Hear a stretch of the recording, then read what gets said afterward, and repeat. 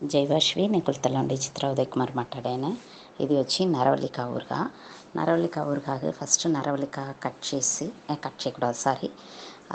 నరవలిక నస కడిగేసి బట్టల తుడిచేసి ఆరవేసిటండ దాని వెనక ఒక్కరాయి ఎత్తి దాన్ని కొట్టితిరేంట విరిగిన అది విరిగేది వచ్చి స్పూన్ బ్యాక్ సైడ్ కాడల లోకుండే కొట్టల్ని రిమూవ్ చేయవల.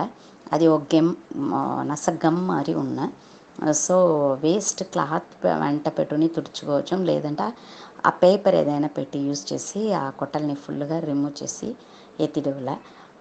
కొంచెం కొంచెంగా కొట్టుకుంటా. కొంచెం ఆ గిన్నెలో వేసింది అట్లనే అది నలువిచ్చింది ఆరంచిన సో ఉప్పు వేసిరండ దాని వెనక అంత నరవలిక వేసి ముడించిన వెనక దాని తైన మిరపడి